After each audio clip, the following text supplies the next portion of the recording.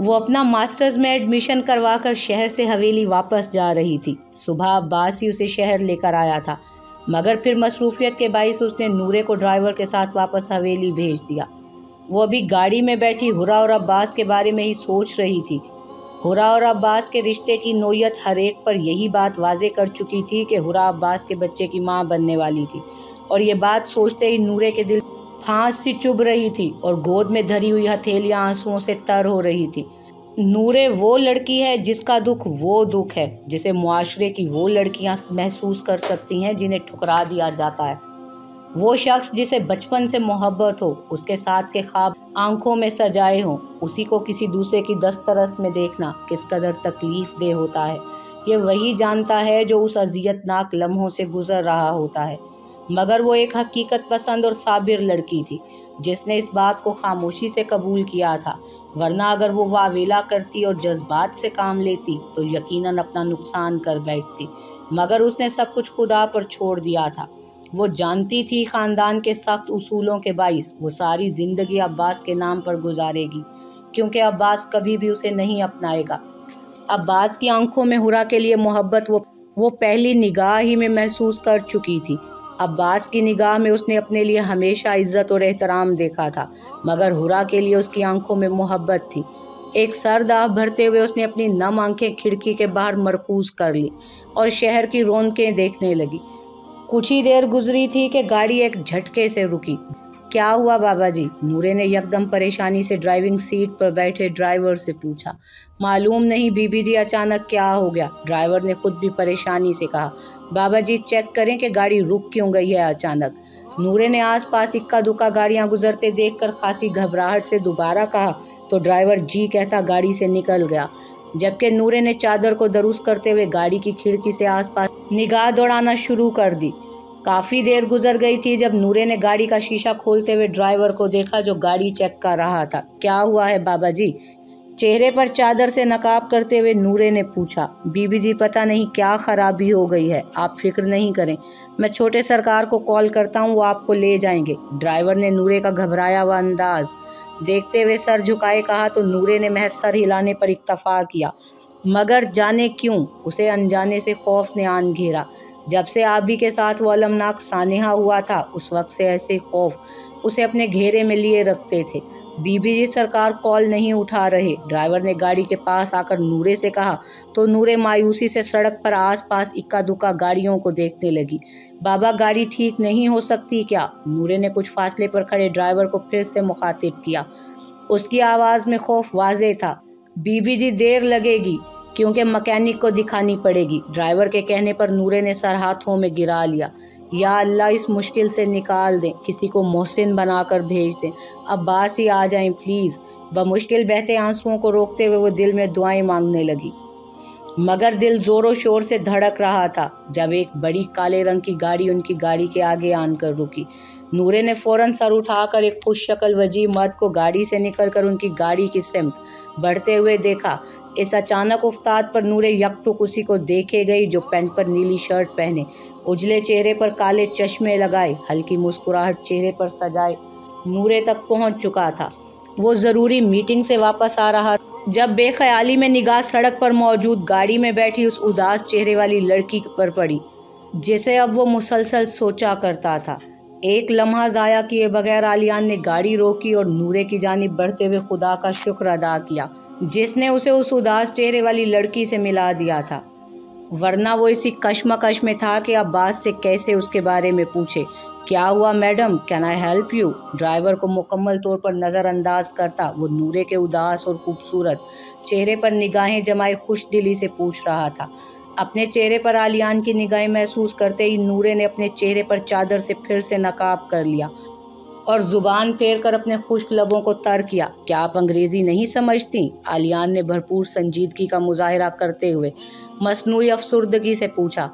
जबकि आलियान की बात सुनकर नूरे पहले सटपटाई, फिर गुस्से से आलियान को तकने लगी, जो उसे अनपढ़ समझे हुए था। जबकि वो तो अभी अपना एमए अंग्रेज़ी में दाखिला करवा कर आ रही थी। मेरा मतलब है, मोहतरमा, आपको शायद मेरी मदद की ज़रूरत है। नूरे की जानब से मुकम्मल खामोशी पर आलियान ने अपनी बात रद्दोबदल करते हुए दोबारा से कहा तो नूरे ने चेहरा मोड़कर उसे नज़रअंदाज किया। क्या आपको उर्दू भी समझ नहीं आती? या खुदा, मुझे तो पश्तो भी नहीं आती।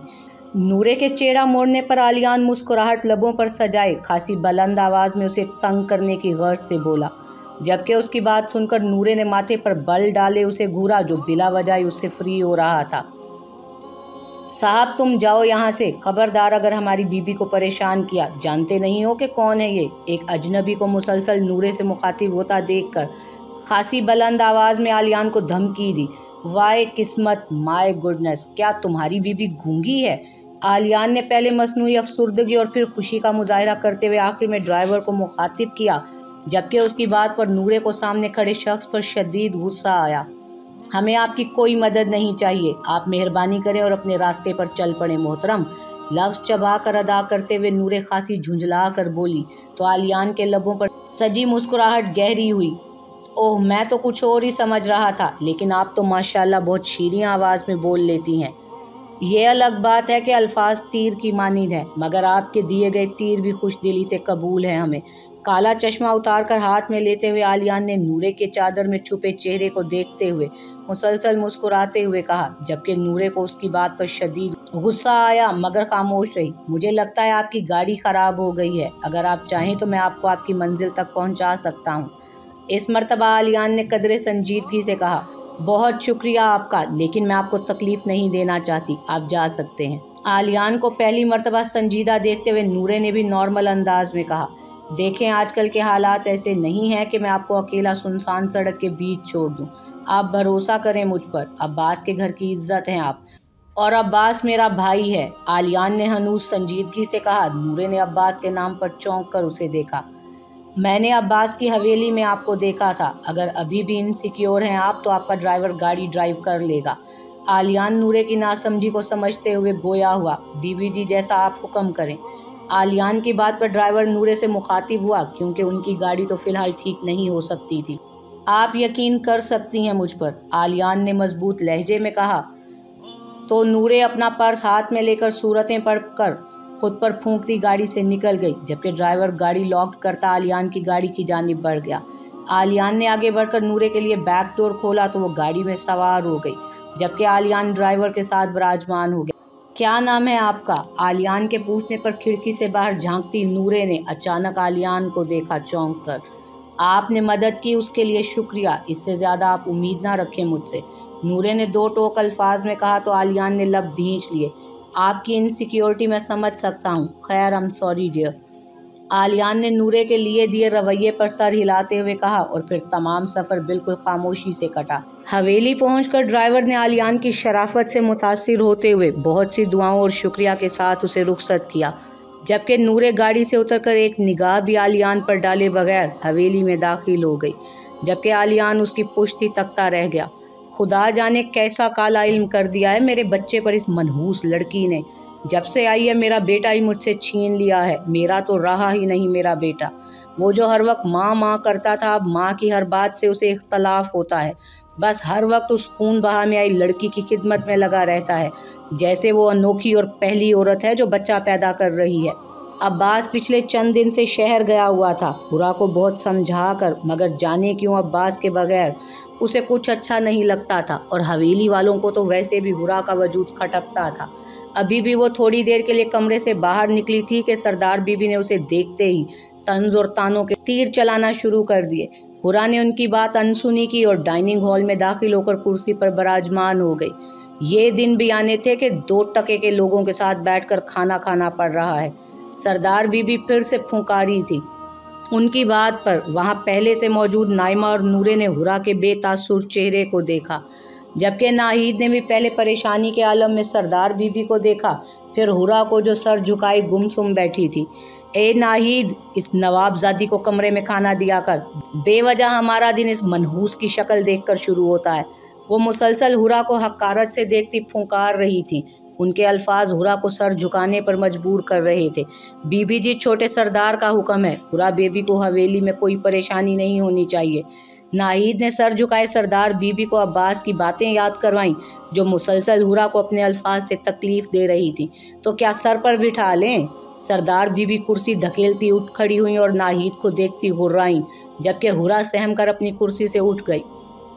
ए लड़की, बात सुन, बहुत बर्दाश्त कर लिया हमने तुझे, अब मज़ीद नहीं, मेरी बेटी की जगह तू ही क्यों ना मर गई?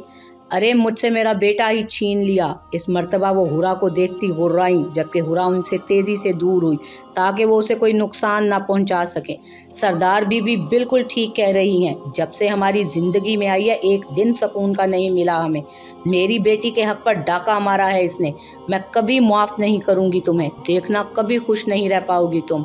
जैसे मेरी बेटी वीरान ज़िंदगी गुजार रही है ना, ऐसे ही तुम भी रहोगी। किसी की खुशियाँ छीन लेने के बाद तुम कैसे खुश रह सकती हो? नायमा भी आज अपने दिल की भड़ास हुरा को तनहा पाकर निकाल रही थी, जबकि उनके अल्फाज सुनकर हुरा का चेहरा आंसुओं से तर हो गया। माँ, प्लीज़ ऐसे नहीं कहें। हुरा को बेआवाज़ रोता देखकर नूरे ने उन्हें इल्तजाइया अंदाज में कहा नाइमा बिल्कुल ठीक कह रही है नूरे। इसलिए तुम्हारे हाथ खाली हैं कि इस जैसी लड़की जैसी चलाकियाँ जो नहीं हैं तुम में।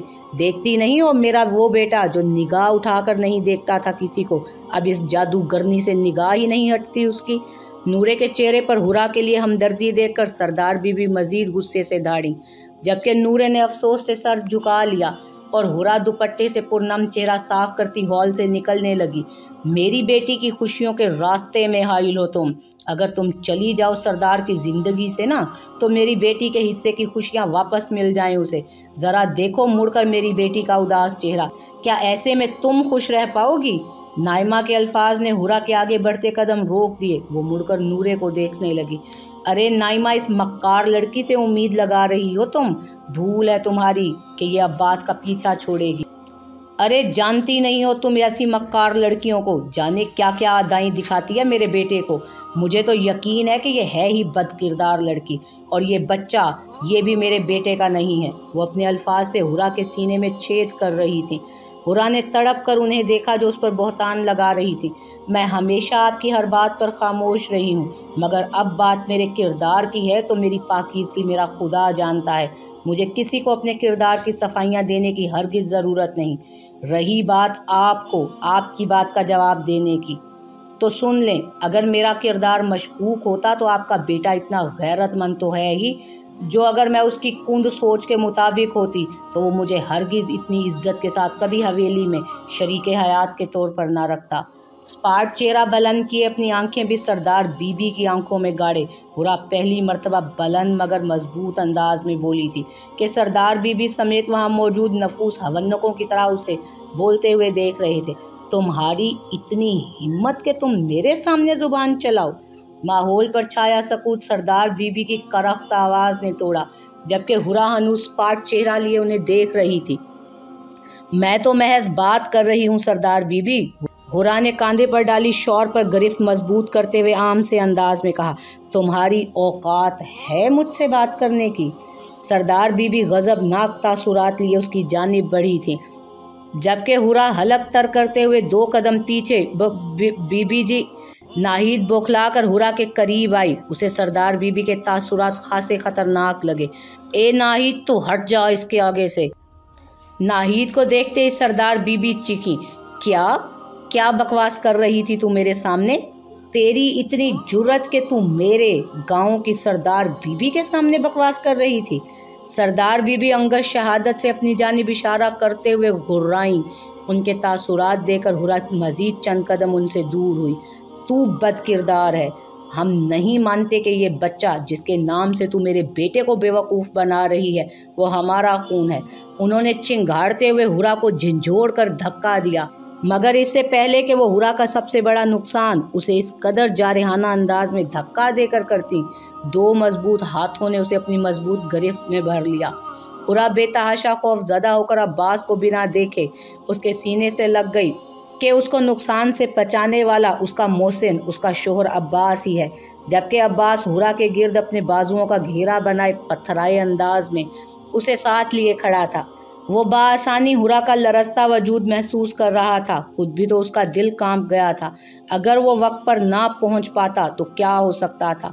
अब्बास की अचानक आमद पर वहाँ मौजूद नफूस को जैसे सांप सूंघ गया। सरदार बीबी ने अब्बास के पथराए हुए तासुरात देखे तो यकदम घबरा गए उसी वक्त सरदार शेर दिल हवेली में दाखिल हुए। तमाम मकीनों की वहाँ मौजूदगी और फिर अब्बास से लिपटी लरसती हुरा को देखकर वो ठिठक गए। अब्बास, क्या हुआ? तुम कब आई? सरदार शेर दिल की आवाज़ ने खामोशी में इश्तियाल बर्पा किया। ये तो मुझे आपसे पूछना चाहिए बाबा सरकार, कि मेरी गैर मौजूदगी का फ़ायदा उठाते हुए, आपके होते हुए, मेरी बीवी के साथ ये किस तरह का सलूक रवा रखा गया है आपकी हवेली में? अब्बास हुरा के गिर्द अपने बाजू हाइल रखे हुए स्पाट अंदाज में बोला तो सरदार शेर दिल की पेशानी पर बल पड़े। ये सिर्फ़ मेरी हवेली नहीं है, आप वारिस हैं हमारे, और अब आपकी औलाद है वारिस इस हवेली की। सरदार शेर दिल अब्बास की बात का जवाब नहायत संजीदगी से देते हुए हुरा को देखने लगे जो उनकी आमद पर अब्बास की गरीब से निकलना चाहती थी, मगर अब्बास ने एक बाजू से उसे अपने घेरे में ले लिया। वो औलाद जिसे मेरी ही माँ जब चाहे गाली दे देती हैं बाबा सरकार, वो औलाद जिसे अभी मेरी माँ ही ख़त्म करना चाहती थी अपने फेल से। अब्बास इस मरतबा सरदार बीबी को देखते हुए कुर्ब से बोला था। उसकी बात पर सरदार शेर दिल ने सरदार बीबी को देखा तो वो घबरा कर पीछे हुई। क्या कह रहे हो ये? सरदार शेर दिल ने अब्बास से पूछा, वो लब भींच गया। मैंने कुछ गलत नहीं किया, अब्बास, ये तुम्हारी औलाद नहीं है। अभी सरदार बीबी बोल ही रही थी कि अब्बास ने तड़प कर उन्हें देखा। खुदा का वास्ता, माँ जी, मेरी औलाद के मुतालिक ऐसे अल्फाज बोल कर मुझे तकलीफ़ मत दें। अब्बास ने हुरा को अपने कंधे से जुदा करते हुए उसकी कलाई थामते हुए कमाल जब्त से कहा, अब्बास, तुम समझते क्यों नहीं हो? मैं हरगिज़ इस लड़की को तुम्हारी बीवी की हैसियत से कबूल नहीं कर सकती। अब्बास के चेहरे पर अजियत के तासुरात महसूस करते इस मरतबा सरदार बीबी आहिस्तगी से बोली सरदार शेर दिल ने मलामत भरी निगाहों से उन्हें देखा। वो मामले को काफ़ी हद तक समझ चुके थे। ठीक है माँ, मैं आपको मज़ीद अजियत से दो चार नहीं करूँगा। अब्बास ने हुरा की कलाई छोड़कर सरदार बीबी के करीब जाकर उनके हाथ को अकीदत से अपने हाथों में लेकर लबों से लगाया। अब्बास, सरदार बीबी ने उसे पुकारा, ख्याल रखिएगा माँ अपना, मैं चक्कर लगाता रहूँगा। सरदार बीबी की पेशानी पर बोसा देते हुए वो बोला और फिर हुरा का हाथ थाम लिया। क्या करना चाह रहे हो अब्बास? सरदार शेर दिल ने ठिठक कर पूछा। मैं अब कोई रिस्क नहीं ले सकता बाबा सरकार। अब हुरा वहाँ रहेंगी जहाँ मैं रहूँगा। अब्बास सरसरी सा कहता हुरा को अपने साथ लगाए। जैसे हवेली आया था अचानक, वैसे ही अचानक सबको हैरत ज़्यादा छोड़कर जा चुका था। देख लिया अंजाम अपने गुस्से का। कहा था ना तुम्हें कि कुछ अरसा सब्र कर लो, लेकिन नहीं, तुम्हें बस अपनी दुश्मनी निभानी थी। अब चला गया हमारा बेटा। अब्बास और हुरा के जाते ही सरदार शेरदिल बीबी पर धाड़े सरदार बीबी पर धाड़े थे। ये बात उनके लिए नाकाबले यकीन थी कि अब्बास अपनी बीवी को लेकर जा चुका था। मेरा बेटा, सरदार बीबी को हकीकतन हैरत हो रही थी कि उनका बेटा इतना बड़ा फैसला भी कर सकता है। क्या पाया है तुमने अपनी इस नफरत के बाद? बेटी तो पहले ही खो दी थी, अब बेटा भी दूर जा चुका है। वो फिर से धाड़े थे। बेशक वो जानते थे कि अब्बास कभी भी अपने माँ बाप से नाला नहीं हो सकता। ये फैसला उसने सोच समझ कर किया होगा। मगर वो दर हकीकत ये चाहते थे कि वो किसी तरह नूरे के साथ शादी पर अब्बास को राज़ी कर ले। मैंने तो तुम्हें पहले ही कहा था कि वो लड़की जादूगरनी है। उसने मेरे बेटे पर जादू किया है, वरना मेरा बेटा मुझे छोड़कर नहीं जा सकता था।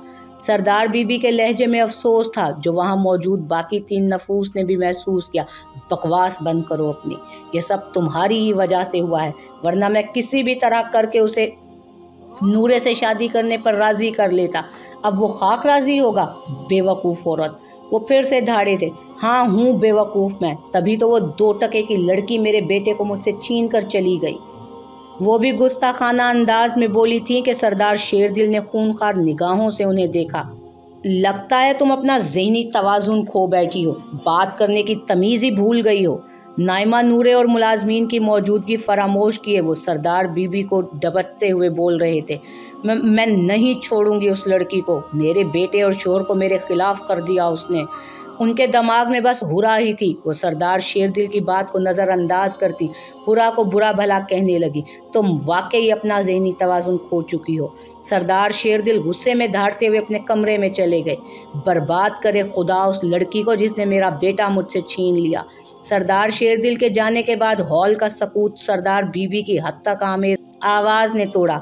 अब वो मुसलसल हुरा को कोसने दे रही थी, जबकि नूरे उनको देखती नफ़ी में सर हिलाती चली गई। ये तो सब बिगड़ गया सरदार बीबी। नाइमा के लहजे में अफसोस था। अब महज वहाँ सरदार बीबी और नाइमा मौजूद थी। तुम फ़िक्र नहीं करो नाइमा, देखना मैं क्या हाल करती हूँ उस लड़की का। कुछ दिन ऐश कर लेने दो उसे। चेहरे पर जहरीली मुस्कुराहट लाते हुए बोली थी कि नाइमा ठिठकी, क्या करेंगी आप? तुम बस देखती ही जाओ। नाइमा के पूछने पर सरदार बीबी राजदारी से बोली और पुरसोच अंदाज में गैर मरई नुक्ते को तकने लगी।